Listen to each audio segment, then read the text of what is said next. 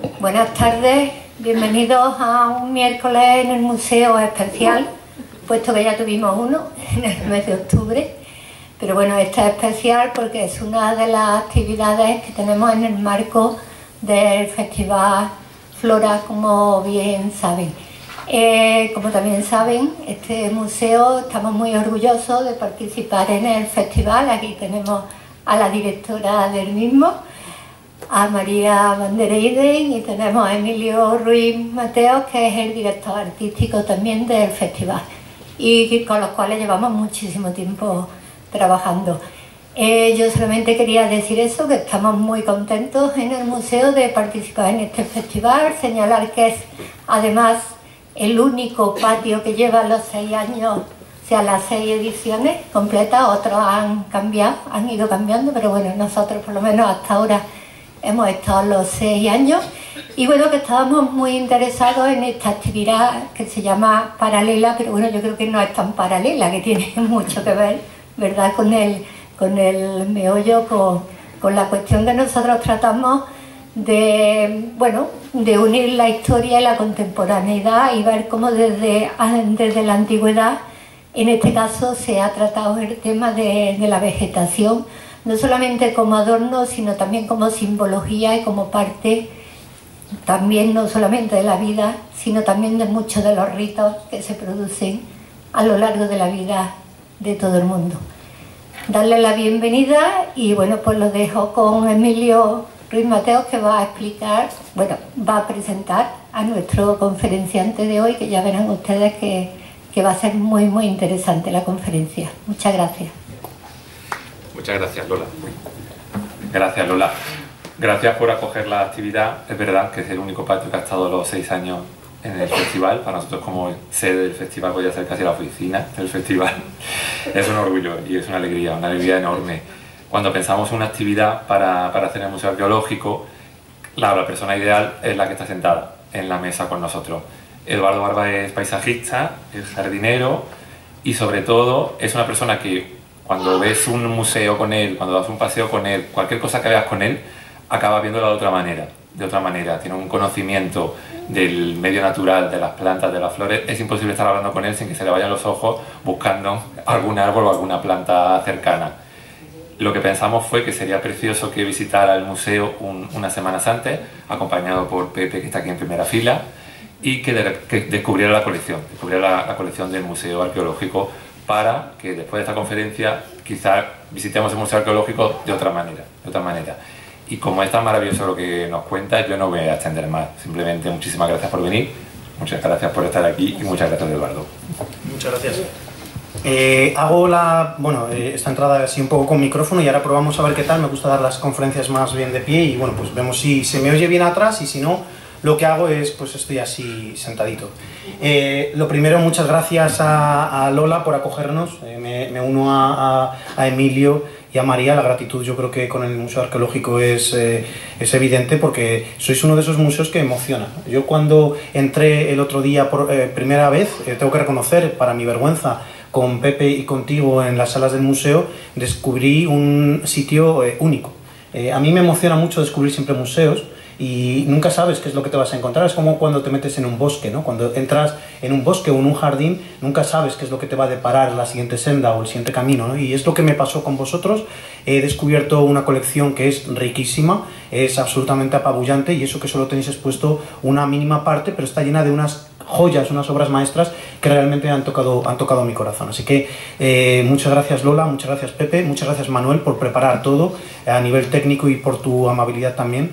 Y, muchas gracias al Festival Flora. Emilio, eh, María, muchas gracias por contar conmigo. Me encanta que, que penséis eh, de una manera así de mí. Yo creo que mm, soy un aprendiz todavía y hoy se va a ver que todavía me queda mucho por aprender. Y entre esos sitios en los que me queda mucho por aprender es este. Vamos a probar a ver qué tal, si se me oye bien. ¿Se me oye bien desde el fondo? ¿Sí? Eh, lo que no sé es dónde colocarme, porque tengo la cabeza un poco gorda y entonces no sé si... Eh, eh, la verdad es que no sé dónde colocarme, porque creo que en cualquier lado, creo que en cualquier lado me, va a ir mal. vale, pues un título más.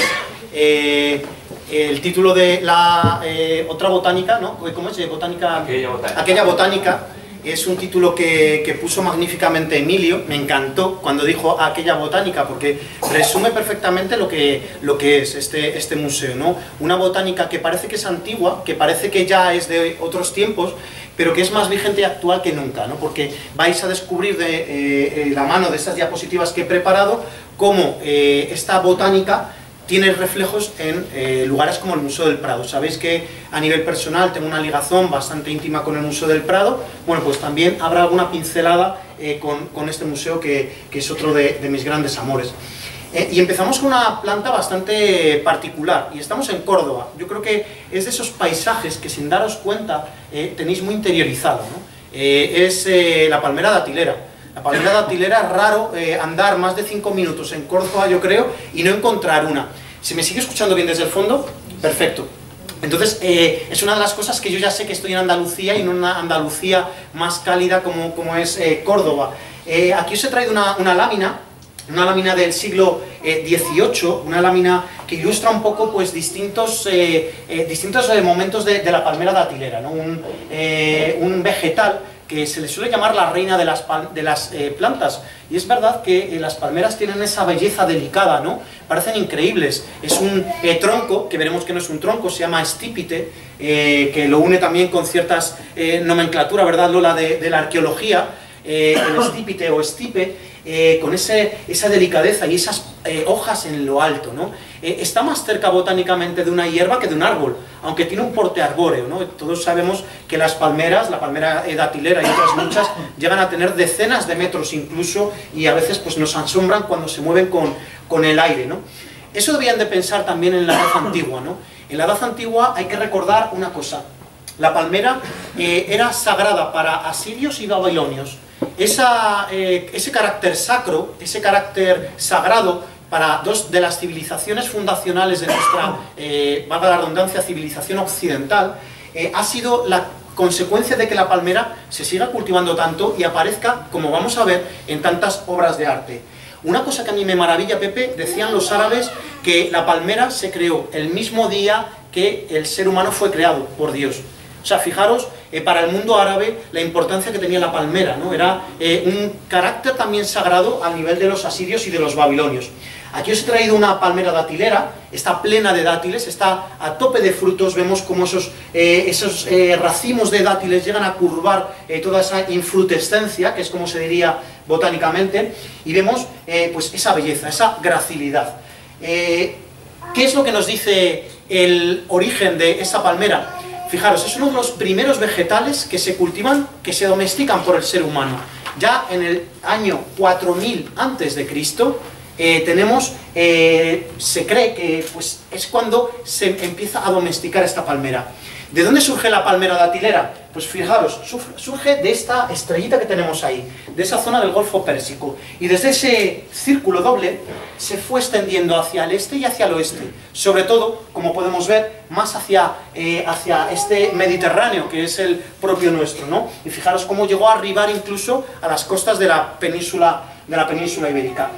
En la antigüedad clásica, la palmera era cultivada eh, de manera también sagrada alrededor de los templos.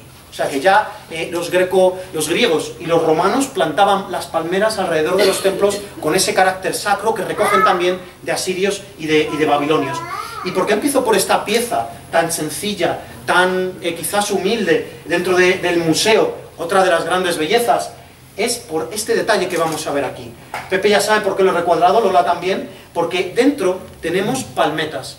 ¿Y qué es la palmeta? La palmeta es uno de los eh, símbolos es una de las esquematizaciones más habituales que tenemos de la palmera. Dices, pero bueno, como ese símbolo que tenemos ahí es eh, algo, lo es, y vamos a ver cómo se llega a esas formas. Aquí tenemos una, eh, una crótera. Las acróteras eran estas, eh, estas eh, palmetas que coronaban eh, pues, los tejados de, los templos. Espero hoy, Lola, Pepe, no cometer ninguna incorrección. el mundo de la arqueología para mí es todavía algo de lo, de lo, que aprender y mucho. tenemos una acrótera y fijaros qué cosa más bonita. Esta acrótera es enorme. Tenéis que pensar que este remate eh, se colocaba en lo alto de los templos para ser observable y para ser eh, pues, eh, una parte de, belleza de, ese templo. O sea que estamos hablando de una pieza bastante grande. Fijaros cómo recoge más o menos de manera esquematizada las partes de una palmera. Vemos, bueno, le falta el tronco, ¿verdad? Ahí parece que no hay mucho tronco, pero sí que vemos ese capitel, ese capitel que sería la base, esta, esta, esta parte de aquí, eh, la podríamos llamar capitel. El capitel es de donde surgen todas las hojas de la palmera. Para nosotros los jardineros, porque sabéis que yo soy jardinero, eh, tiene una importancia capital también. Es una parte también muy bella y diferenciadora de muchas palmeras, cómo surgen las hojas desde ese capitel. Y luego vemos toda esa fronda, toda esa frondosidad, mejor dicho, de palmas, que también está muy bien reflejada en esta acrótera. Vemos cómo sí que hay una similitud, eh, una similitud muy esquematizada, desde luego, pero ahí está ese carácter eh, estético de la palmera perfectamente recogido, en este caso en un templo de una de las islas eh, de, de, Grecia. la misma columna podría ser un reflejo incluso del estípite o de ese tronco de las palmeras. Eh, porque mucho de lo eh, sacro, eh, mucho de lo arquitectónico bebe también de las fuentes botánicas continuamente. Lo que pasa que muchas veces lo hemos olvidado, pero vemos aquí como en este fuste de, columna tenéis recogidas en todas las diapositivas el origen, la gran mayoría de las diapositivas serán con piezas de aquí, mientras no se refleje lo contrario, en ese color amarillo más clarito, vemos que también en este capitel, en esta parte alta, mejor dicho, de la columna, tenemos una esquematización también bastante bella de eh, lo que pueden considerarse también unas palmeras. Y vemos que tiene ese reflejo en, estas, eh, en esa acrótera que hemos visto eh, de, de, Grecia. Y vemos cómo también tiene esas volutas bellas, recogidas. hay una cosa que a mí me gusta mucho que es ver cómo los artistas van conservando muchas de las, de las anatomías de las plantas a lo largo de sus creaciones y a lo largo de los siglos. ¿no? Y vemos cómo esas volutas de la acrótera también en, este, eh, en, esta, en, esta, columna, que estamos pues a finales del siglo V, es decir, eh, unos cuantos años después de, esta crótera, vemos cómo también eh, se recoge esas, esas, volutas. ¿no? Y vemos también una cosa curiosa, que es eso de ahí. Ahí lo que estamos viendo son los dátiles. ¿no? Los dátiles también de una manera bastante esquematizada están recogidos, están tallados en esta, en esta columna de, de mármol. Bien, uy, que me voy para atrás, aquí estamos. Vamos a ver que la palmera sobrevuela y sigue sobrevolando los siglos y ya estamos en la segunda mitad del siglo VIII. Estamos ya en un mihrab eh, monolítico, emiral, muy bello. Yo cuando lo vi con esta venera, con esta concha frontal, eh, me sorprendió a nivel botánico ver el lateral. Vemos el lateral y vemos cómo eh, tenemos de nuevo eh, una forma que nos es muy familiar, que nos es eh, totalmente conocida, sin necesidad de ser ni jardinero ni botánico. Y de nuevo tenemos esa palmera, eh, muy esquematizada en este mundo árabe. Recordamos que para los árabes la palmera era un ser viviente al mismo nivel casi que el ser humano, porque fue creado por Dios el mismo día, como he dicho al principio. Y vemos como en este mihrab, que seguramente sea una de las piezas más importantes dentro de la mezquita, ¿no? Es el que orienta siempre ese rezo hacia, hacia la Meca, bueno, no siempre, ¿no? ¿Verdad? Eh, pero eh, tenemos ahí ese, ese mihrab también eh, bellísimamente tallado. Pero, ¿qué es lo que tiene aquí este mihrab en la parte baja? Fijaros, ahí hay una estética que no hemos visto en las otras palmeras. Tenemos que recurrir quizás a unas, unos cuantos siglos anteriores vamos a esta zona, Mesopotamia, Siria, estamos en un desfile de prisioneros y vemos como también hay una palmera tallada. Fijaros qué belleza. A mí cómo tallan las palmeras eh, en, Asiria, en Babilonia, eh, siempre me, fascina. No, eh, no hay muchas conservadas, pero cuando hay alguna tienen esa delicadeza y ese realismo. ¿no? A mí las, las hojas las palmas siempre me recuerdan un poco a ese, eh, parecen como un poco plumas de avestruz, ¿no? Un poquito. Bueno, pues aquí es lo que vemos. Fijaros en la base de la palmera. Eh, lo que han hecho en este, eh, en este bajo relieve es tallar lo que les suele ocurrir muchas veces a las palmeras datileras, que generan en la base unas nuevas hojas. Es como una propagación de yemas que generan casi como nuevas palmeras, o sin el casi, en la misma base. De hecho, muchas veces cuando no se podan, eh, generan una masa eh, ingente, parece casi como una, un palmeral solo y a veces es solamente una palmera genéticamente hablando. Bueno, pues ahora ya entenderíamos que esa base de hojas que tenemos aquí son ni más ni menos que una aplicación de una realidad. aunque veamos una, una obra de arte muy esquematizada, la realidad siempre está presente de una manera u otra. Bien, vamos a ir a un bronce, porque la abundancia de belleza botánica dentro de la colección del Museo Arqueológico de Córdoba eh, toca absolutamente todos los soportes. Eh, en este braserillo almohade, siglo XII, es decir, estamos, hemos dado un pequeño salto ya hacia adelante, eh, ya estamos unos cuantos siglos después, vemos que también hay una belleza botánica atrapada en uno de los laterales. Ahí, en esa parte de, baja de, de esa pata o parte alta, tenemos también un símbolo que parece una mariposa. ¿no? Cuando lo, vi por primera vez, digo, anda, mira, una mariposilla, qué cosa más bonita. Bueno, no es una mariposilla y lo que estamos viendo es, de nuevo, una esquematización de formas. Hasta en los pequeños detalles, en ese caso, en este eh, bronce almohade, tenemos de nuevo esa presencia de la reina de las plantas, de la palmera, con su estípite, con esos dátiles que llegan a curvar la infrutescencia del peso, eh, no sé si alguna vez habéis sujetado eh, un racimo de dátiles, es eh, increíblemente pesado, sorprende cómo puede soportar la, palmera tantos kilos encima, y vemos que también está recogido perfectamente. O vemos ese, esa corona de hojas también perfectamente. Y un detalle también muy bello, que es cómo crecen las palmeras, esa parte central. Las hojas nuevas de la palmera cuando crecen es uno de los bueno, caracteres de salud y de fuerza y de vigor que imprime la palmera. ¿no? Cuando tú ves como jardinero, como agricultor, como amante de las plantas, como botánico, eh, la nueva creación, la nueva brotación de hojas nuevas en la palmera, sea una datilera o en cualquier otra, realmente es uno de esos momentos eh, plenos de belleza dentro del jardín. Y ahí vemos como también esa parte central está recogida. Eso es eh, parte del juego de la palmera. ¿no? Eh, para eh, muchas culturas la palmera significa la inmortalidad, significa el vigor, significa la fuerza de la naturaleza y representar esa nueva brotación es parte de ese juego simbólico detrás de la palmera. la palmera nos la vamos a encontrar en bronces también tan importantes como en monedas. Y esta es la primera pieza del Museo del Prado que traigo aquí, para eh, compartirla juntos. Eh, tenemos una palmera de una manera eh, bastante bella, unas, unas hojas de palma arqueadas, muy bellas, con esos dátiles a tope, además con mucho más saliente, ¿no? dan una sensación casi de peso, con, pocos, con, pocos, con pocas, como diríamos, características. ¿no? Y ahí vemos que no es la única parte de la palmera que aparece en las monedas. En esta otra moneda del Museo del Prado, porque eh, la colección de numismática del, Museo del Prado es bastante rica, aunque no esté expuesta normalmente, vemos también una hoja de palma, una eh, hoja de palma que es otro de los eh, iconos botánicos más representados en la historia del arte también.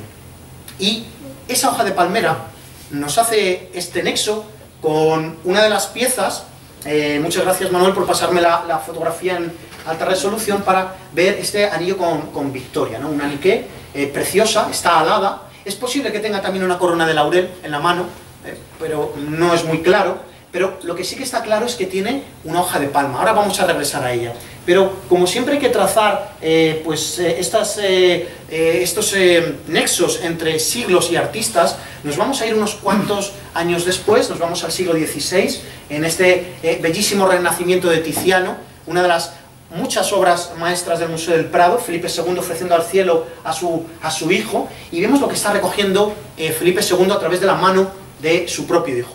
Está recogiendo de un ángel la palma. La palma es el símbolo de triunfo militar más antiguo que existe. Por eso lo vamos a ver en, eh, obras muy antiguas, en obras eh, realmente bellas también de aquí del museo. Vemos ese símbolo de triunfo militar. Claro, eh, Felipe II eh, está aquí con uno de los... Eh, de los ha, vencido en la guerra de Lepanto y aquí estamos viendo pues, el fruto de, esa victoria, con esa, ese símbolo de la, de la palma. Ahora vemos esa, esa victoria alada, esa, esa nique, con esa delicadeza ¿no? tallada en la piedra, preciosa, con esas, esos foliolos tan característicos de la, de la hoja de palma. La palmera también es un símbolo de la victoria conseguida. Es un símbolo de triunfo, evidentemente, de triunfo militar, pero va unido indisolublemente, igual que le ocurre al laurel, como veremos después, a, eh, la, paz conseguida. Y esa paz conseguida la podríamos escenificar en uno de los mejores eh, pues, tallistas, si lo podríamos decir, que es eh, Nicola da Trezzo, uno de los grandes talladores de numismática y de medallas que tiene pues, el Prado y vemos cómo lo ha representado junto con otra planta que más tarde veremos. Vemos aquí eh, esa hoja de palma representando el triunfo militar y vemos una hoja, una eh, rama de olivo. Esa rama de olivo evidentemente tiene ese nexo, esa connotación de paz que todavía hoy podemos pues, eh, fácilmente detectar. La hoja de palma no solo aparece como un triunfo militar, sino también aparece en sitios tan recónditos y tan oscuros y tan apartados como en las catacumbas romanas. Aquí lo que estáis viendo es una tapa de terracota donde mientras esa terracota estaba eh, húmeda, mientras ese barro eh, antes de cocerse estaba blando, se hizo una incisión con eh, muy pocos trazos, simbolizando ese martirio, porque aquí lo que eh, simboliza esa hoja de palma es el martirio de un cristiano que ha sufrido pues, eh, el asesinato por parte de, las tropas romanas, ¿no? de los soldados romanos normalmente. Entonces estamos viendo cómo también esta hoja de palma sigue recogiendo simbologías a lo largo de los siglos. ¿no? Y los cristianos también hacen suya la hoja de palma, igual que lo hicieron antes los, eh, los árabes, igual que lo hicieron antes eh, los asirios y los babilonios, o los griegos también, por supuesto. Y para eh, quizás olvidarnos o no un poco y dejar de lado la palma, vamos a una pequeña fantasía. He incluido tres pequeñas fantasías que no tienen quizás mucha realidad botánica en esta conferencia. Una tiene que ver con este vaso. Un vaso romano que lo primero que me llamó la atención cuando lo vi con Pepe fue la parte de baja. Eh, y luego vi eh, unas formas bastante extrañas. Puede que sea esto, puede que no. Eh, pero me gusta pensar que quizás detrás de esas escamas, de esas, de esas base, de esa base, puede que haya un pequeño nexo con los troncos de las palmeras. Cuando se recortan, dejan esa base de la hoja perfectamente eh, localizada en ese estípite. Eh, y también vemos en la parte alta quizás lo que a mí me parecieron unos dátiles. Es posible que no lo sean. Eh, eso no sé si es barbotina también. ¿Eso es aplicado con barbotina? Molde. Eso es molde, todo es molde. Entonces, menos lo de abajo. Ajá, menos lo de abajo. Entonces vemos ahí quizás un eco a dátiles, no lo sé. Pero me gusta pensar que quizás hay algo detrás de la palmera también en este, en este vaso. Hay ahora un salto vemos una pieza que quizás eh, no sea tan musealizable o quizás no nos hayamos fijado tanto, ¿no? Como en esta eh, fuente que tenemos en el patio, en uno de los patios de aquí del museo. Y vemos una zona que me llama la atención, son estas, eh, estos roleos, ¿no? Tenemos aquí unos roleos de clara inspiración vegetal. Esto lo podríamos tener muchas personas en el cuarto de baño de nuestra casa, o eh, en cualquier lado, ¿no? Nos lo podríamos encontrar prácticamente en cualquier lado. Y es que al final, de nuevo, pues estamos siempre eh, recogiendo eh, mucha de la esencia botánica de muchas cosas del pasado. Y ahí vemos que quizás para hacer ese nexo nos tenemos que fijar en este mundo romano. Y vamos a ver aquí unos roleos de lo más peculiar. Otro de los relieves que me llamó mucho la atención, una muy bella calidad técnica, eh, también a nivel botánico por supuesto, y vemos aquí una, un amasijo de cosas, ¿no? Vemos también por aquí eh, algún ave, eh, vemos por aquí algún tipo de reptil, vemos una mezcla de plantas, que, ¿qué podrían ser estas plantas? Aquí tendríamos que recurrir también a un precedente, un precedente con mayúsculas, ¿no? Ojalá que encontráramos también aquí un Arapacis. Eh, qué cosa más maravillosa, es uno de los sitios que eh, en Roma eh, se te desencaja siempre, ¿no? La, la admiración, ¿no? Cuando estás delante y dentro de este, de este Arapacis Augustae, pues no puedes más que exclamar de belleza, ¿no? y vemos que quizás ese es el nexo de, de, ese friso, porque también, como aquí vemos en este bajo relieve, vemos pues esta belleza botánica. ¿Qué es lo que hay detrás de, esta, de este bajo relieve? Pues hay una mezcla de eh, formas botánicas eh, continuas eh, muy considerables. De hecho, hay personas como Giulia Caneva, de la Universidad de La Sapienza de Roma, que ha puesto nombre a todas las plantas. Yo creo que es bastante complicado llegar a colocar un nombre a todas las plantas, porque aquí hay muchos referentes botánicos, sí, desde luego, pero no siempre hay, o no siempre tiene que haber, bajo mi punto de vista, una especie detrás. Pero lo bonito es ver cómo en esta antigua Roma creaban formas inspiradas continuamente en la observación detallista del entorno. Y eso es bellísimo. Vemos que, por ejemplo, una de las cosas que siempre es recurrente en este tipo de bajorrelieves son los zarcillos. Los zarcillos, todos los que hayáis visto alguna vez eh, una viña, una parra, eh, que es más que evidente que la gran mayoría aquí, eh, habréis visto estos muellecitos, que es una transformación de la hoja, que utiliza la parra y otras plantas trepadoras, porque la parra es una planta trepadora, para escalar, para asirse, para unirse a otras plantas y poder eh, alcanzar mayor cantidad de luz. Y ahí veríamos esos muellecitos, ¿no? que sirven de base, que sirven de esquema para que estos grandes artistas del pasado agolpen formas distintas en estos eh, bajorrelieves. Y otra, por supuesto, que no puede faltar, otra forma de la que nos vamos a hartar ahora un ratito de oír hablar del acanto, es eh, con estas hojas verdes de esta magnífica especie. El acanto era una de las plantas más cultivadas en los jardines grecorromanos, eh, por su exuberancia, por sus hojas verdes. Eh, hay que recordar una cosa, en la península ibérica y en todo el Mediterráneo, realmente no tenemos plantas con muchas hojas grandes, no estamos en los trópicos. Los trópicos es lo más habitual, ¿no? Que tengamos una hoja que incluso podría ocultarnos por completo. Una hoja grande, vigorosa, de color verde, que renace todos los años, es algo que para todas las civilizaciones ha sido y, es un referente, a nivel estético y a nivel simbólico.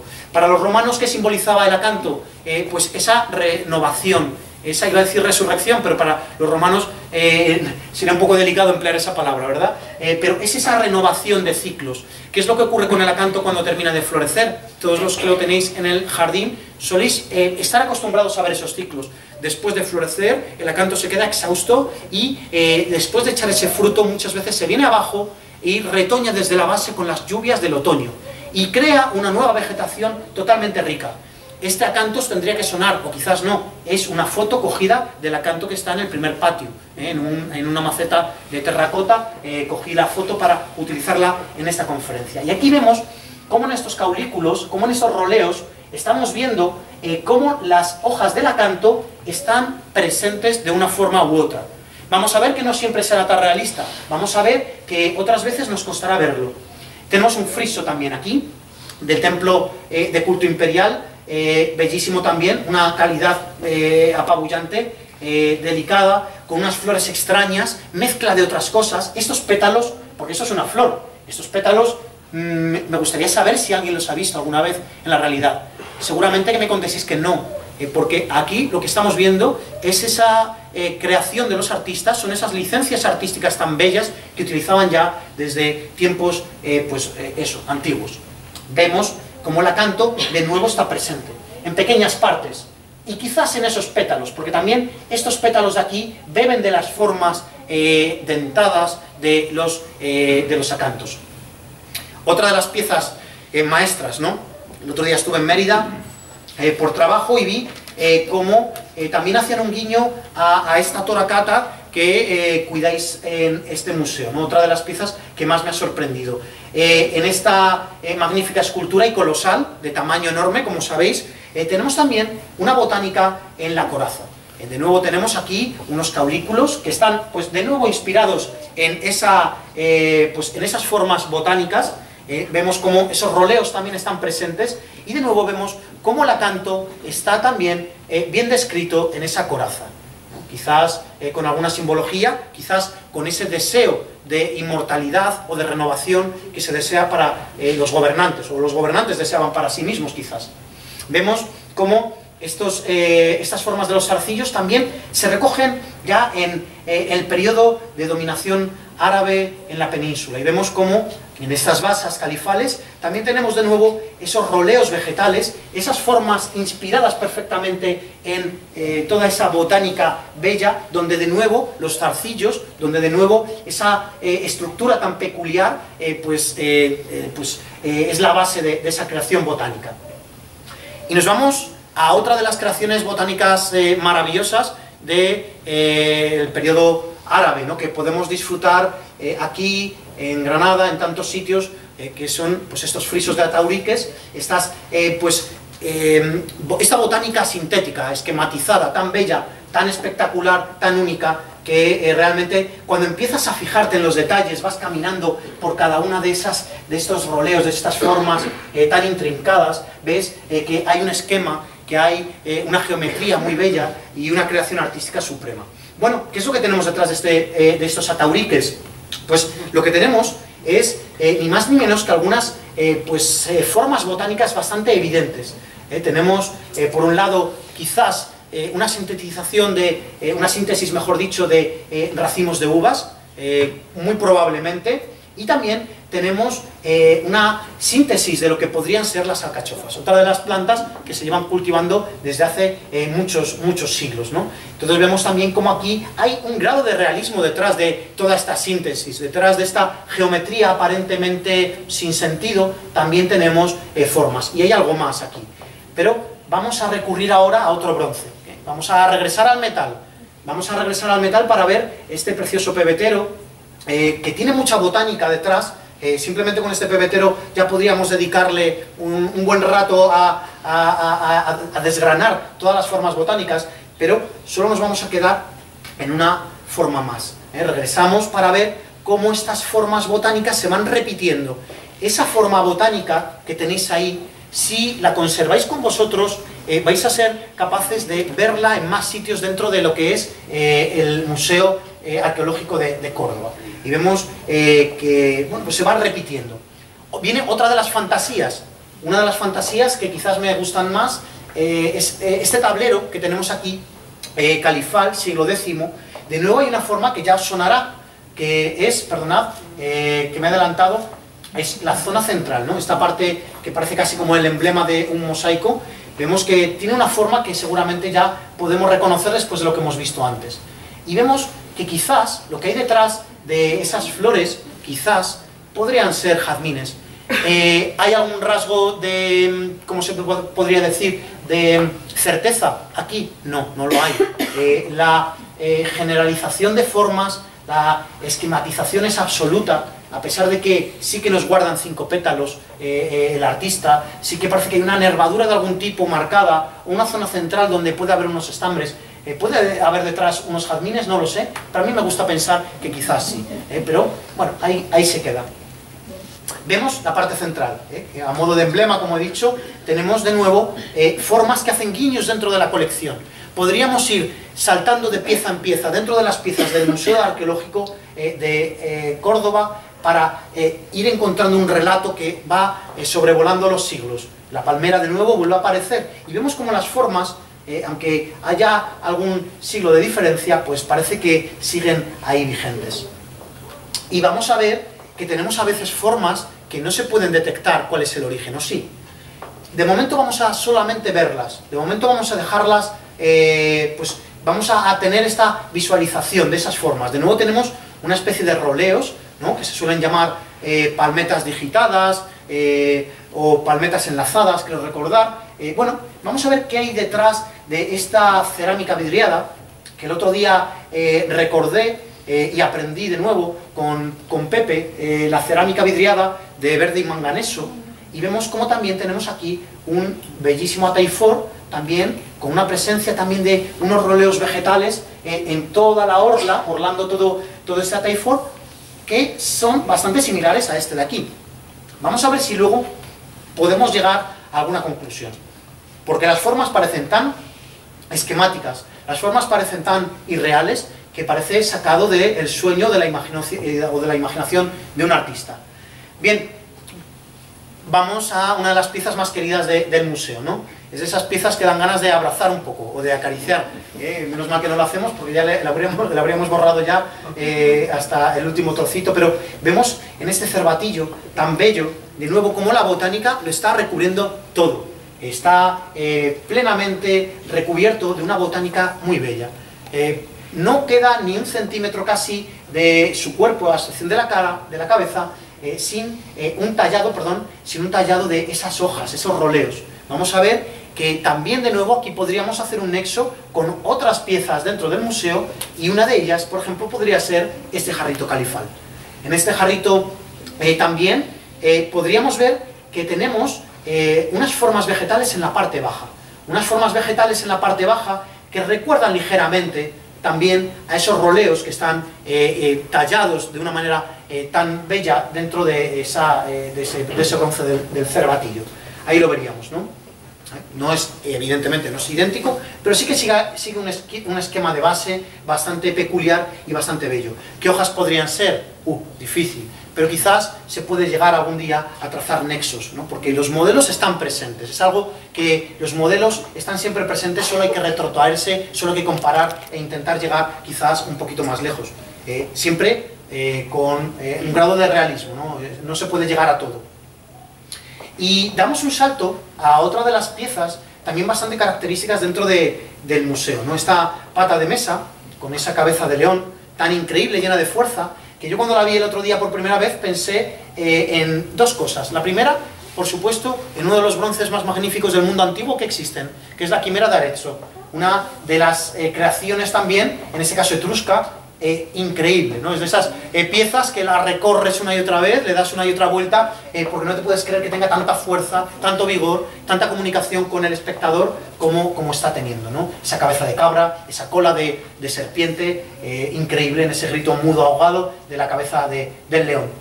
Vemos que esta quimera de Arezzo, pues tiene también esa nexo, esa comunicación con esta quimera eh, de Córdoba, ¿no? Tan peculiar. De repente vemos eh, una mezcla de piezas, ¿no? Eh, ninguna de las dos son reales, ninguna de, los dos son, ninguna de las dos son posibles que existieran, ¿no? En la realidad, pero vemos ese nexo, vemos esa imaginación, vemos todo ese canto de lo antiguo que se va recogiendo también en piedra y en bronce como, como aquí.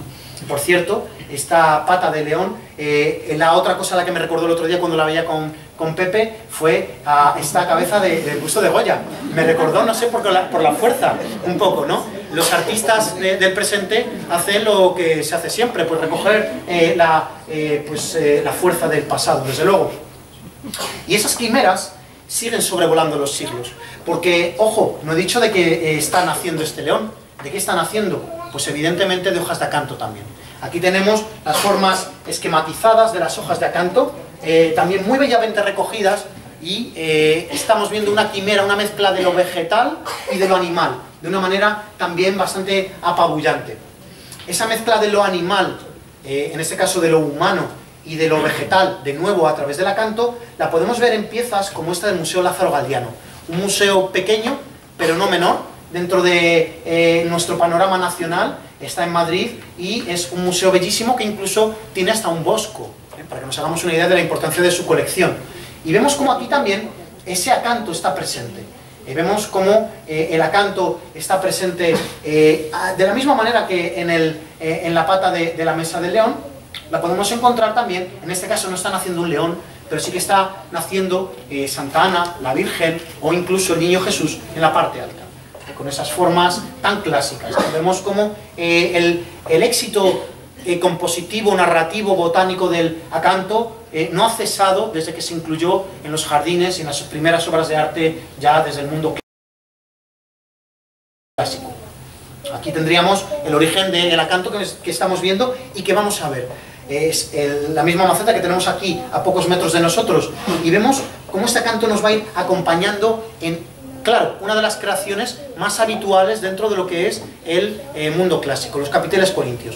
Hay una leyenda que dice que el escultor griego Calímaco, un día visitando un cementerio, eh, vio la tumba de una niña. En esa tumba de la niña, de la pobrecita, había dejado la nodriza una cesta con eh, juguetes, con muñecas.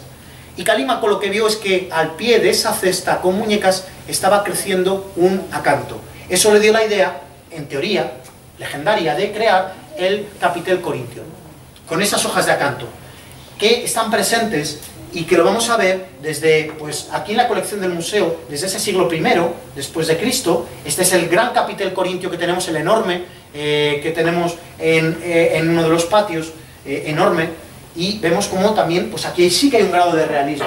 Pero vamos a ver cómo las formas se van a ir deshaciendo. Y eso es muy bonito ver cómo los artistas iban trabajando sobre formas anteriores, aplicando a veces todavía más una esquematización, lo que nos da una idea de cómo es el arte también a nivel botánico.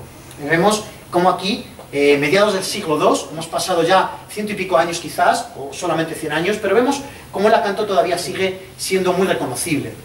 Además, con este arqueado tan eh, característico, eh, un arqueado bellísimo, que es el mismo arqueado que hace las hojas del acanto en el jardín, en la naturaleza, un arqueado grácil, un arqueado también muy bello y plenamente recogido por todos esos artistas.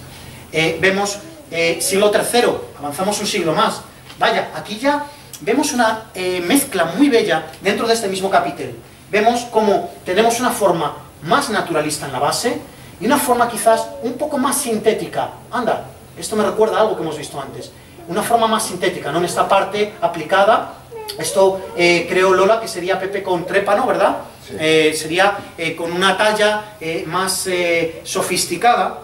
Y vemos cómo tenemos también zonas de los templos, de los edificios sagrados o institucionales, como esta de esta ménsula, donde también el acanto hace presencia de otra forma, ¿no? Y la vemos recogida en las distintas partes de, de esta, de esta ménsula. O también la sorpresa botánica. Aquí también tenemos, eh, podríamos dedicar hoy una conferencia entera y exclusiva a todas las flores con rasgos un poco eh, imaginativos, dijéramos, dentro de la colección del eh, Museo Arqueológico. Y una de ellas podrían ser todas las flores que aparecen en los frisos, columnas y en otras piezas del museo. Y vemos una que a mí me llama mucho la atención. Es una rosa silvestre, bueno, tiene solo cuatro pétalos, los rosales tienen cinco. Creo que muchas de las personas que estáis aquí sois plenamente conscientes de eso. Pero hay siempre una transformación de formas y hay siempre un interés por parte de los artistas en simbolizar algo quizás sin llegar a dejarlo de una manera explícita.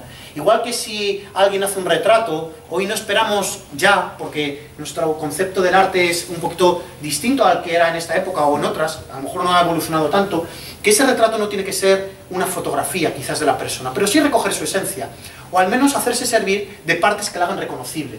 ¿Será esto? No digo que sea una rosa, pero varios detalles de realidad muy gráciles, como estos pétalos acorazonados, igual que tienen las rosas silvestres, eh, y otras muchas rosas también, o esa gracilidad.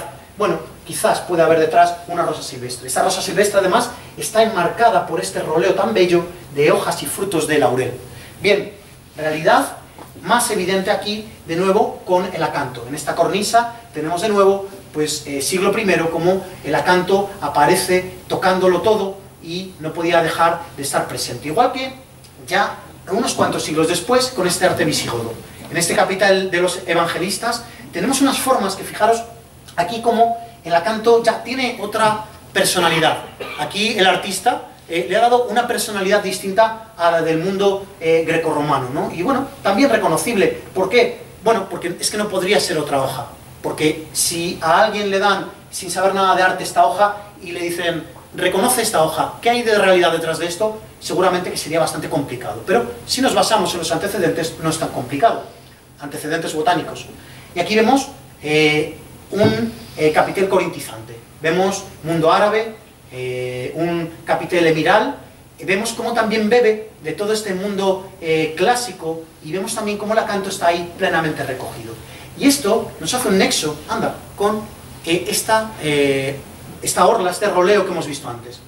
Aquí lo que estamos viendo es esas palmetas digitadas, que normalmente se suelen dejar siempre como palmetas digitadas, no son, bajo mi punto de vista, más que eh, las hojas de acanto. Unas hojas de acanto esquematizadas, donde esos dedos son ni más ni menos que todos esos recortes que suele tener el acanto, o la base está perfectamente recogida. Entonces vemos cómo lo que han hecho estos artistas en esa cerámica de verde y manganeso es recrear eh, esos roleos con solamente hojas de acanto de una manera bastante bella. Y vemos cómo la esquematización continúa y no para. Y vamos a otro capitel, en este caso un califal. Y vemos cómo ya aquí las formas, vaya, parece que se han perdido. ¿Dónde es aquí el acanto? Me cuesta ver el acanto. Eh, pero quizás lo vamos a entender más si vamos a otro capitel y vemos cómo el acanto sigue aquí presente, con esos recortes. Y hacemos esa comparativa con esas palmetas digitadas que de nuevo eh, refrescamos que es el, el acanto.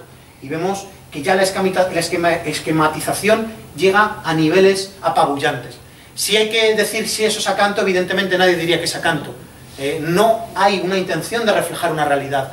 Pero sí está ese tributo a lo clásico, sí está ese tributo a los modelos antiguos o anteriores, porque no estamos lejos de ninguna otra época donde se representaba el acanto, y vemos que en este caso los artistas solamente querían recoger la esencia de esa caída grácil de la hoja, sin ningún pretexto, sin ningún, eh, una, una intención de, de realismo. Muy bello. A mí a veces esos capiteles me dan la sensación de que empezaron simplemente porque alguien tenía prisa en terminar algún templo o alguna cosa y eh, los dejó casi sin tallar, sin dar el tallado final, ¿verdad, Pepe? Eh, y ya aquí la esquematización eh, absoluta, ¿no? Aquí ya, eh, ya no, no sabemos ya ni lo que hay de vegetal, pero bueno, ahí está ese canto sobrevolando los siglos, eh, llegando hasta, hasta este siglo XII incluso. Vamos a ver otras hojas y para ello eh, nos vamos a retrotraer de nuevo al el mundo romano. Mosaico de los poetas o de los filósofos también, lo he leído por ahí. ¿Sí? De los escritores incluso, vaya, pues eso, eh, eso eh, tendría que haberte consultado antes, Pepe. Eh, bueno, pues aquí tendríamos ese, ese, mosaico tan bello, donde varias de las testas, varias de las cabezas están coronadas, evidentemente y muy probablemente, por algo que no puede ser otra cosa más que las coronas de laurel, muy probablemente. ¿Por qué? Porque el laurel era una de las plantas que se solían utilizar para coronar a los poetas era un símbolo de la inmortalidad que iban a conseguir con sus letras. ¿no? De hecho, eh, pues, eh, hoy en día eh, pues, adoramos, leemos, memorizamos, nos emocionamos con poesía y con letras de hace miles de años incluso. Y aquí vemos en este Parnaso cómo está el mismísimo dios Apolo, a la vez coronado con una corona de laurel, está coronando, gracias a sus musas, está coronando a uno de los poetas, eh, ofreciéndole esa inmortalidad que va a alcanzar eh, con sus letras, con su poesía, con su arte.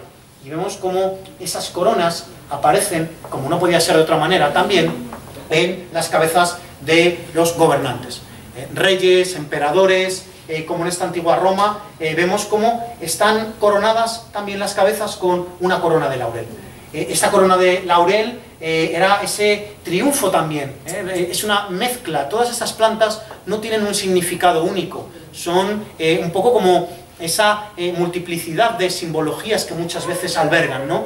El, el, laurel también tenía en el mundo romano, e incluso a día de hoy, un carácter protector. ¿no? se decía que donde creciera el laurel no iba a caer un rayo, por ejemplo. o incluso muchas personas, incluso a día de hoy, llevan en la cartera laurel ¿eh? para tener más dinero, entre otras cosas. Eh, sí, siete hojas de laurel, eso me dijeron una vez.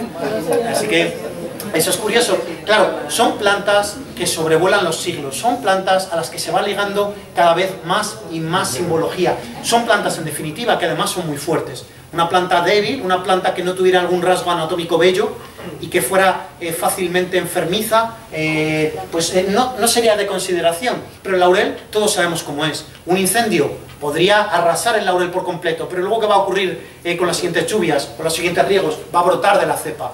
Eh, es una planta eh, realmente superba. Y esa, pues, esa característica, esa connotación de fuerza, pues es normal que traspasara también a sitios como una cabeza de un emperador o de un rey o de un gobernante cualquiera. Y vemos que también hay testas, también hay cabezas coronadas ya por otras cosas. En este mosaico vemos, eh, hay una parte que está restaurada, eh, evidentemente, pero vemos eh, una cabeza coronada, cabeza coronada con hojas de vid, con hojas de parra. Claro, aquí ya entramos en otro terreno. ¿En qué terreno? En el terreno que vamos a ir desvelando a medida que evolucionemos con estas diapositivas. Regresamos a mi rap, a, este, a esta pieza superba, delicada, sencilla en apariencia, pero muy sofisticada a nivel botánico, y nos vamos a detener ahora en los laterales también de nuevo. Pero antes vimos la palmera, ¿la recordáis? Ahí abajo a la derecha, vemos esa forma de la palmera. Ahora nos vamos a detener en la parte eh, superior. En esa curvatura lo que nos encontramos es, claro está, eh, a una vid. Aquí tenemos de nuevo un, cuadro del Museo del Prado. Tomás Yepes, eh, un pintor muy naturalista, en este barroco representa una mata, una cepa de parra, de porte bajo, de pie bajo, y vemos cómo las formas están plenamente recogidas. Como la hoja. Una hoja eh, palmeada. Qué sencillez, ¿verdad? De formas. Muy sencilla, pero ahí está. Vemos también el que, anda, los zarcillos, ¿cómo no? Es que una parra sin zarcillos no es una parra. Parece que nos falta algo. Y además a mí siempre me hace mucha gracia ver a un niño cuando coge y mm, por primera vez ve un zarcillo. Eh, siempre es como un muelle eterno, ¿no? Ah, y se vuelve, ah, y se vuelve. Ah. Y ahí tenemos el zarcillo y ahí tenemos de nuevo el racimo de uvas. Un racimo de uvas en el cual el tallador, de una manera muy modesta, porque eh, no ha aplicado una gran cantidad de realismo detrás de, esta obra, sí que ha representado, por ejemplo, las alas. Esto se suelen llamar alas u hombros. ¿eh? entraríamos ya en otra eh, conferencia con las uvas, que también la tiene, y vemos cómo tenemos aquí una parte que está más destacada dentro de lo que son las uvas, y vemos cómo el artista anónimo también ha representado esa forma tan curiosa del racimo de uvas. Bien, si hay que hablar de uvas, si hay que hablar de parra, tenemos que hablar de dioses.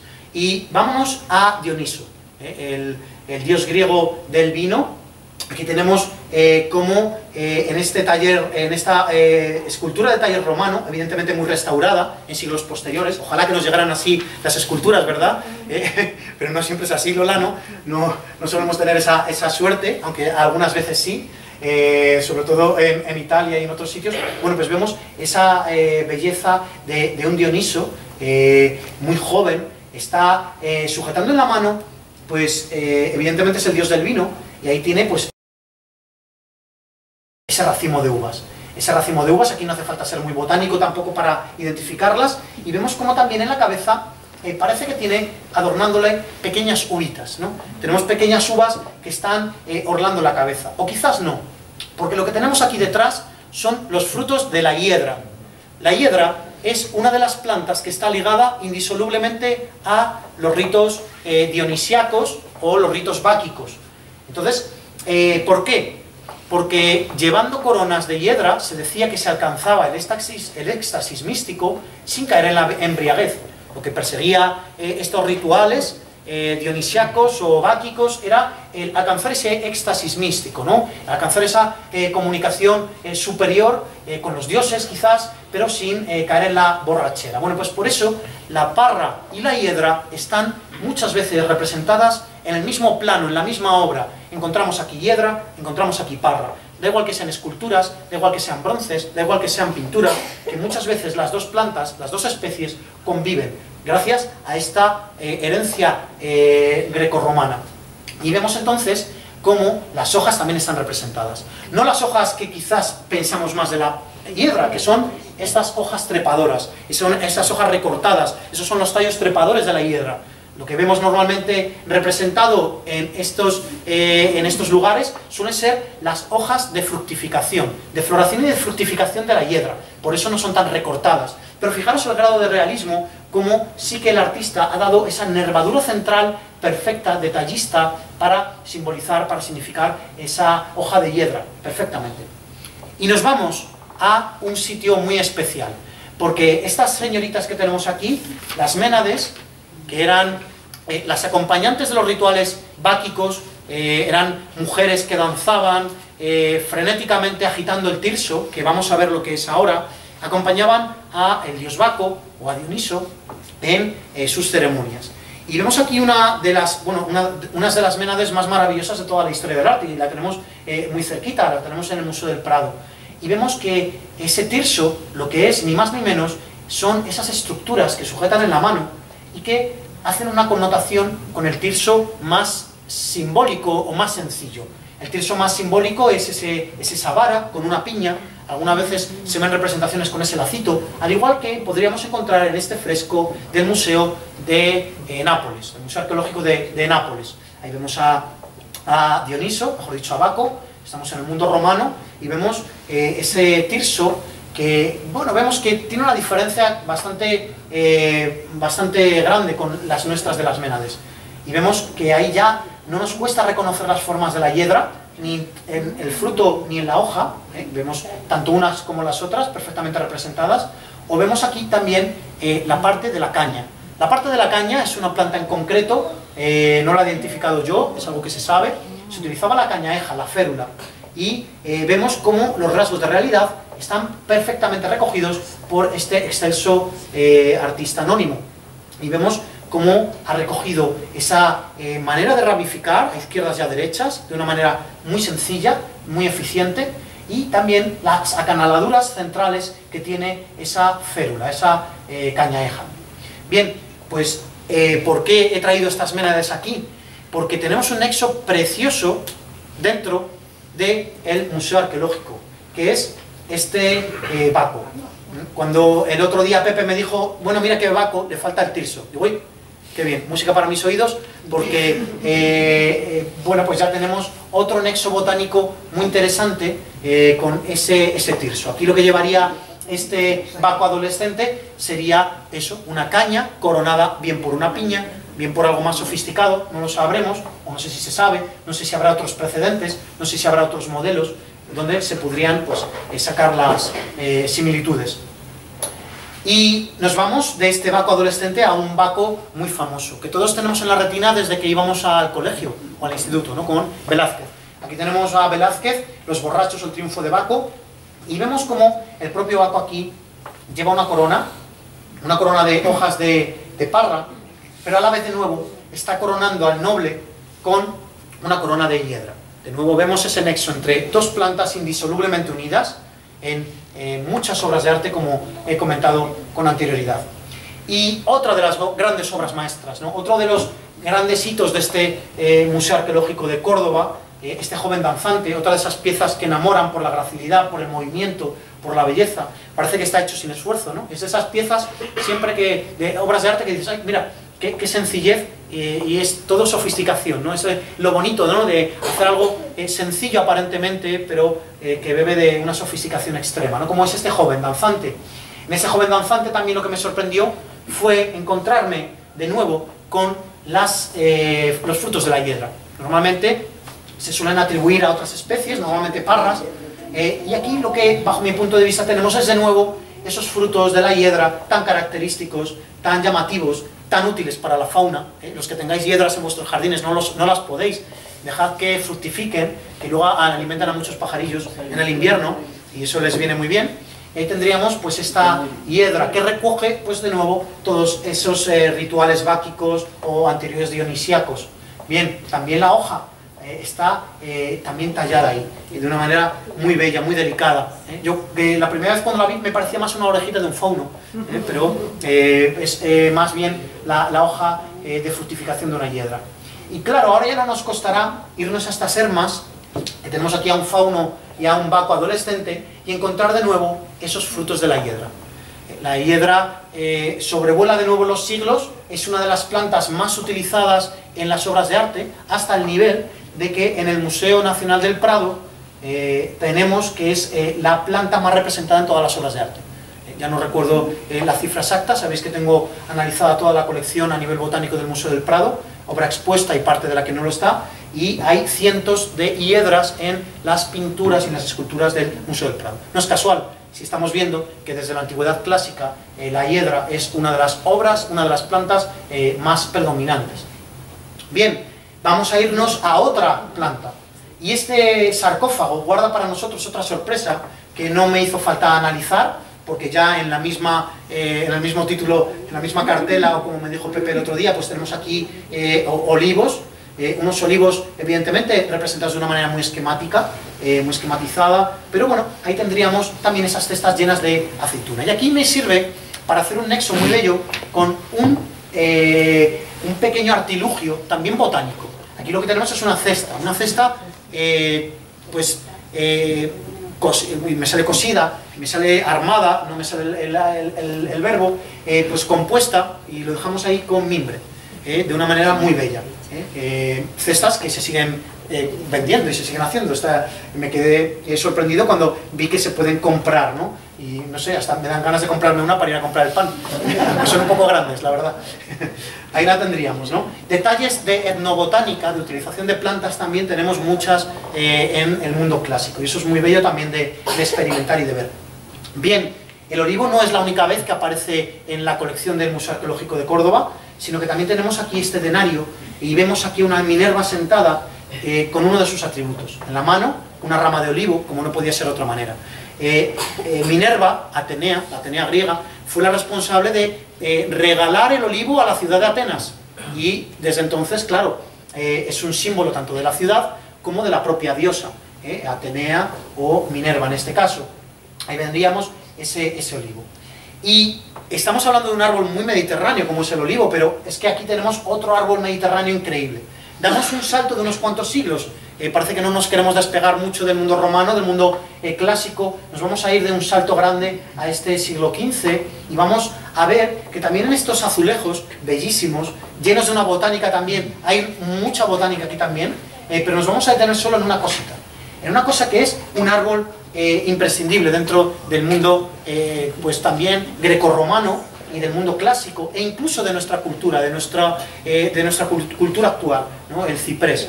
Ciprés tan presente en todo el arco mediterráneo también tiene acogida de una manera muy bella en estos eh, azulejos. Uno de esos árboles que siempre ha significado esa conexión entre el cielo y la tierra, ¿no? A que siempre se le ha asignado ese, ese poder un poco a veces mediador entre, entre los hombres eh, y eh, las deidades, ¿no? Que habitan eh, allá arriba. Bueno, pues aquí tendríamos esos olivos en un entorno ya pues más, más cristiano. Y vemos, de nuevo, parece que esa luz que nos acompaña de esta lucerna nos lleva de nuevo al mundo clásico. Y aquí hay una de las piezas delicadas que a mí eh, más me eh, gusta. ¿no? A mí las lucernas, siempre que las veo en un museo de arqueología, me encantan. Siempre eh, me encantaría es, esa, bueno, pues, ese estilazo ¿no? que tenían antiguamente, ¿no? como iban a sus habitaciones con estas lucernas. Yo me los imagino por la noche pasando por el peristilo, ¿verdad? Así, cuidando un poco la llama, que quizás hacía una noche un poco ventosa. Y eh, bueno, aquí vemos una cosa bastante curiosa, ¿no? Eh, eh, Sabéis que las lucernas se rellenaban a través del discus, que es esta parte de aquí, se rellenaban de, pues, de aceites, ¿no? Normalmente. De hecho, hay una lucerna que a mí me gusta mucho en el Museo de Huesca. para el Museo de Huesca hice un itinerario botánico permanente y allí tienen una lucerna que en el discus tienen tres hojas de olivo. O sea, que fijaros qué cosa más bella, ¿no? Poner la planta de la que se saca el aceite que hay dentro, ¿no? Entonces, esos, esos detalles. Bueno, ¿qué es lo que tenemos aquí? Para mí, desde ya, quizás eh, de una manera pues totalmente subjetiva, es una lucerna amatoria. ¿Por qué? Lo vamos a ver ahora. Porque ha recogido dos plantas eh, que son eh, muy ligadas al, mundo también clásico, como son la chiribita, la margarita de toda la vida de los céspedes, o la fresa silvestre, las dos. Y las dos eh, parece que están representadas en eh, la parte externa, ¿no? Tenemos, por un lado, el fruto de la fresa, y por otro lado tenemos el de la, flor, la inflorescencia, mejor dicho, de las chiribitas. Las chiribitas era una planta que aparece en, mucho, en muchas de las connotaciones también con resonancia antigua, ¿no? la chiribita, por ejemplo, decoraba y decora, porque gracias al paso del tiempo o, no, eh, se ha salvado parte de la puerta de Istar en Babilonia. Y la puerta de Istar, además de todos esos leones y animales fantásticos, eh, también hay eh, unas margaritas que siempre se le atribuye que son chiribitas. La chiribita es una de esas plantas magníficas, únicas. En el mundo romano además tenían una connotación poderosísima. Además de que curaban, porque era una planta que cerraba las heridas, era muy querida por los propios soldados, también tenía una connotación amorosa, romántica. ¿Por qué? Porque era el atributo de eh, Afrodita, la Afrodita griega o la Venus romana. Era una de las flores que tenían atribuidas. O también la fresa. Desde el mundo clásico, desde el mundo antiguo, la fresa es un símbolo del paraíso. Eh, con ese, esa simbología de paraíso eh, también que podríamos trazar a lo largo de pues, los siglos. Entonces vemos cómo es una eh, lucerna muy especial con esa fresa y con esa eh, margarita eh, pues ligada a, Venus.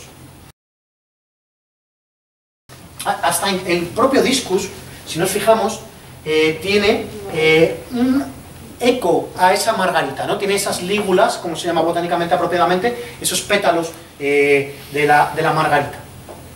Y de frutos, porque hemos hablado de la fresa, nos vamos a internar en una recta final ya eh, que nos va a llevar a la finalización de la conferencia, a este relieve. Este relieve eleusino tiene, pues, eh, aquí un poquito más castigado por el paso del tiempo, pero todavía muy bello, eh, con esa, esas, esas, formas que todavía conserva. Tenemos, desde luego, una cornucopia. Una cornucopia que, pues bueno, como todas las cornucopias habitualmente o normalmente, eh, la gran mayoría de ellas tenían una gran abundancia de, frutos, ¿no? Este cuerno de la abundancia, que es otro de los, de los nombres que tiene la, cornucopia. Y ahí vemos eh, que esa cornucopia nos lleva a uno de los sitios más apabullantes dentro del Museo Arqueológico de Córdoba en cuanto a botánica se refiere. Unas pocas pinceladas, porque este, eh, este relieve también podría ser otra de las piezas que podrían articular ella sola una conferencia entera. Podríamos encontrarnos eh, frutos y, eh, bueno, eh, esto no sería un fruto propiamente dicho, botánicamente sería un cono, es un cono, una piña, de, un pino piñonero, con una forma un poco esquematizada, para ahí la tendríamos, en el mundo romano no es raro encontrarnos con, con las piñas, desde luego. Otro de los momentos botánicos muy habituales dentro del mundo eh, romano es el roble. Aquí lo vemos. Además, una especie en concreto, el Quercus robur, eh, o Quercus, que habría que decir eh, correctamente, si se pronuncia en latín con, de manera apropiada. Aquí estaríamos viendo la, manera recortada de, las hojas de, este roble. Esta no, esta no, esta de aquí sería de una parra que hay más arriba, una gran hoja. Estas sí que serían las hojas recortadas también de ese roble. O el fruto el fruto lo vemos con un largo pedúnculo. De hecho, ese rabito es lo que eh, produce la diferenciación del roble, de este roble, de, otros. El roble tiene una importancia capital en el mundo romano, porque era un árbol que estaba atribuido a eh, Zeus, Júpiter. Zeus o a Júpiter, dependiendo de, eh, de, los griegos o de los romanos, y vemos que es un árbol entonces con un gran vigor. De nuevo, antes hemos recordado el laurel, un árbol o un gran arbusto eh, también pues con una gran fortaleza, el roble. Bueno, todos, yo creo que yo creo que no hay ni una sola civilización del mundo mediterráneo que no tenga alguna expresión del estilo fuerte como un roble, ¿no? Eh, pues ese fuerte como un roble eh, lleva también a la utilización del roble con, con esa simbología, ¿no? El, el, dios de los dioses, ¿no? Zeus o Júpiter, pues tenemos como el atributo no podía ser otro que un gran árbol fuerte que llega a ser fácilmente milenario, ¿no? Eh, y de la misma manera nos podríamos encontrar las coronas de roble. Eh, ¿Esto podría ser un roble? Parece que sí. Además hay unos frutos aquí que parecen recordar ligeramente a las bellotas. Eh, es un poco muy sintetizado, claro, muy esquemático. las coronas de roble se solían aplicar también en las cabezas de los emperadores con esa connotación de representatividad de Zeus Hércules, Zeus Júpiter, perdón, en la tierra, ¿no? Es como hacer que ese emperador eh, se convierta realmente en un dios. Y tendríamos también en esta recta final eh, la hoja de la parra, la vemos aquí perfectamente recortada, la vemos eh, perfectamente, además con un grado de realismo bastante grande, un racimo de uvas aquí también, pues claro, como no podía ser de otra manera, mundo clásico, las uvas siempre presentes. O, por ejemplo, la espiga. la espiga es otra de esas cosas mediterráneas indisolubles, ¿no? de cualquiera de las civilizaciones ligadas a, a nuestro mar y vemos pues como esas espigas trigo o de cebada pues están ahí también representadas de una manera un poco esquematizada pero ahí están presentes o por ejemplo el, granado ¿eh? tenemos el granado con esta forma tan característica estas dos hojas también serían del granado ¿eh? es eh, una hoja pues que bueno no es que sea del todo característica pero perfectamente es del granado en este caso o por ejemplo una planta que normalmente se suele atribuir como ajo eh, en el mundo eh, clásico, eh, las cabezas de la dormidera, del opio, de la, de, la, amapola de la que se extrae el opio, mejor dicho, muchas veces tienen estas formas tan extrañas. pero os va a dar el grado de diferenciación este disco de aquí abajo. Fijaros en este disco, está presente en las cabezas de la dormidera, de hecho se utiliza mucho, fue cortada, ¿no? tenemos como las, el fruto de la dormidera también se utiliza. En los cármenes de Granada, en, los, eh, los, jardines antiguos la dormidera era una planta muy cultivada y muy querida. Y en el mundo romano era muy apreciado la adormidera que se cultivaba en la península ibérica, porque se decía que era la que daba, eh, tenía mayores eh, propiedades. ¿no? Sabéis que la adormidera era una de las plantas más utilizadas para muchas cosas ya desde tiempos clásicos. Y ahí tendríamos la amapola de la eh, adormidera con el fruto verde o el fruto ya cuando abre esa, ese opérculo, esa parte superior y suelta la semilla. ¿Por qué la cabeza de la amapola es tan alta? ¿Y por qué abre esas eh, aperturas arriba? Pues eso es muy bello, porque cuando las ves en un día ventoso, lo entiendes, se mueve mucho y entonces lo que hace es que lanza las semillas más lejos así va avanzando cada año unos cuantos metros más y va colonizando tanto la amapola roja de toda la vida como las otras amapolas, que hay unas cuantas especies en, Europa. Bien, las eh, adormideras como símbolo, por supuesto, del sueño, a veces de un sueño eterno, y por eso aparece también en entornos como las tumbas romanas o eh, ligadas a, pues, a este eros dormido. ¿no? Vemos ahí como tiene en la mano pues, eh, dos frutos de la adormidera de una manera muy bella. ¿no? una, escultura muy sencilla, quizás no un gran alarde eh, técnico, pero eh, que inspira mucha quietud. Y para terminar, vemos, como no podía ser de otra manera, este sarcófago. un sarcófago apabullante también, cuando lo vi el otro día en compañía de Lola y de, y de Pepe, es otra de esas piezas, otra de las muchas piezas del museo que eh, me cautivó por completo, y vemos eh, pues esta eh, belleza. Eh, tenemos dos momentos, bueno, tenemos varios momentos botánicos. De nuevo, otra pieza, y no es un farol, con el que nos podríamos detener un rato eh, largo. Y vemos la primera. En la parte alta tenemos, como eh, me comentaba el otro día Pepe, aquí tenemos a Jonás eh, siendo engullido, y luego descubrí que esta parte de aquí era de otro pasaje, que es el de eh, Jonás, en un momento que nos dice así, en el Antiguo Testamento. Y preparó el Señor Dios una calabacera, la cual creció sobre Jonás, para que hiciera sombra sobre su cabeza y le defendiera de su mal. Y Jonás se alegró grandemente por la calabacera. Bueno, pues una- un pasaje bastante simpático. Vemos la calabacera. Bueno, en caso de tratarse de una calabaza, porque ahora vamos a ver que las traducciones, eh, el tema de las plantas en la Biblia, en la Biblia es eh, bastante complejo. Hay libros bellísimos de las plantas en la Biblia, en, en todos los idiomas. En todos los idiomas. Eh, es bastante complejo, pero en caso de que fuera una calabaza, aquí sí que el artista ha tallado un parece que ser una calabaza. Y vemos el fruto. O eso creo ver yo. Vemos aquí la calabaza. ¿Cuál tendría que ser la calabaza de peregrino? Eh, otras calabazas son americanas, lo cual pues no pintaría mucho en este entorno paleocristiano, ¿no? Todavía. Pero ahí tendríamos esa calabacera. ¿Qué parece ser que se trataba, o qué planta parece ser que por traducción o mala traducción o por... se trataría más bien de un ricino. El ricino es una planta que también crece muy rápido eh, y tiene unas hojas enormes. ¿eh? Seguramente que también hayáis visto alguna vez el ricino, es una planta enorme, muy estética también. A mí me encanta, yo tengo una en mi terraza. eh, y bueno, pues ahí tenemos ese, ese ricino con esas hojas grandes que parece ser que era la planta habitual. Pero ahí el artista parece que también se dejó guiar ya en este momento paleocristiano por la calabacera. Y casi para terminar, tenemos una escena. Es la escena de, bueno, pues una de las escenas más trágicas, ¿no? Que tenemos eh, ligadas a la religión cristiana. Es el momento en el cual, pues Adán y Eva están, o han, mejor dicho, ya han comido del fruto prohibido. Hay cuatro árboles del conocimiento del bien y del mal. El clásico, siempre cuál es? El manzano. ¿no? Es el más reproducido normalmente, el manzano. Pero es que también tenemos la higuera, también tenemos el naranjo amargo y también tenemos el granado. Esos serían los cuatro árboles del conocimiento del bien y del mal clásicos. Lo que pasa es que siempre pues, se suelen representar dos de ellos. Eh, por supuesto, el, el- principal, el manzano, pero luego el- la higuera. La higuera es bastante evidente que muchas veces en muchas obras de arte, además, tenemos este momento. Fijaros, qué hoja más grande.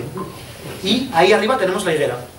Claro, eh, si tú de repente en tu desnudez estás comiendo un fruto prohibido, lo comes y de repente te avergüenzas de tu cuerpo desnudo, con lo primero que te vas a cubrir es con lo primero que tienes a mano.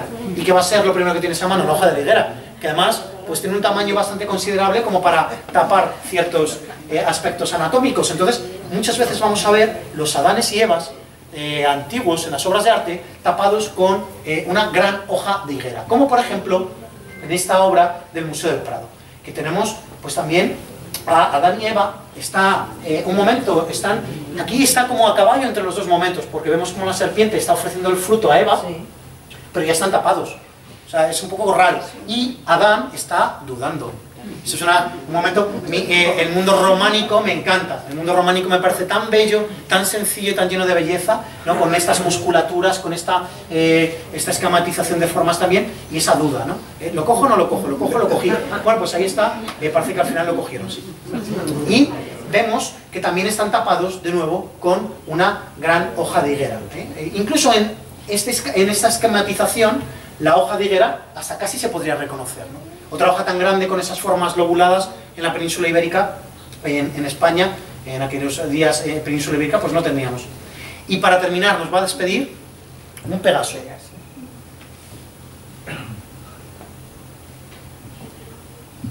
Porque este Pegaso nos va a llevar volando simplemente a uno de esos detalles que son muy bellos de ver en las grandes obras de arte. Incluso a veces en las más modestas o incluso en aquellas antiguas, ¿no? Que pensamos a veces que no hay eh, nada de lo que sacar y aquí hay un discurso. Aquí podríamos detenernos un buen rato por qué eh, el artista o los artistas han aplicado unas teselas de un color o de otro. eh, pero Aquí me quedo simplemente con una cosa muy bella, una hierba que con esa sencillez nos está representando un paisaje sencillo, cuatro trazos, unas cuantas teselas de color verde, un sitio que se ofrece a ese Pegaso que ha venido quizás volando y que ahora está andando sobre el museo, como bueno, deseo que hagáis vosotros, que regreséis una y otra vez al museo y que observéis, observéis y eh, os enamoréis también de la botánica en esas obras de arte. Muchas gracias.